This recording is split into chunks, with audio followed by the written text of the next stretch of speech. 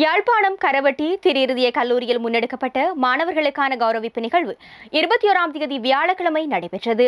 பாடசாலை அதிபர் அருட்தந்தை விஜிண்டஸ் அவர்களின் தலைமையில் நடைபெற்ற இந்நிகழ்வில் இலங்கை பாடசாலைகள் சதுரங்க சங்கத்தினால் தேசிய ரீதியில் முன்னெடுக்கப்பட்ட சதுரங்க போட்டியில் வெற்றி பெற்று தங்கப்பதக்கத்தை பெற்ற மாணவனான செல்வன் தீபன் கரிகணன் மற்றும் மாகாண மட்ட பாவுதல் போட்டியில் முதலிடம் பெற்று தேசிய மட்டத்துக்கு தெரிவாகியுள்ள மாணவி செல்வி மேரிசா ஜஸ்டின் பெர்னாந்து ஆகியோருக்கான கௌரவிப்பும் கலை நிகழ்வுகளும் இடம்பெற்றன. கோட்டக்கல்வி அதிகாரி திரு நற்குலலிங்கம் அவர்கள் பிரதம விருந்தினராக கலந்து சிறப்பித்த இந்நிகழ்வில் பெற்றோர்கள் பழைய மாணவர்கள் என பலரும் கலந்து கொண்டனர்.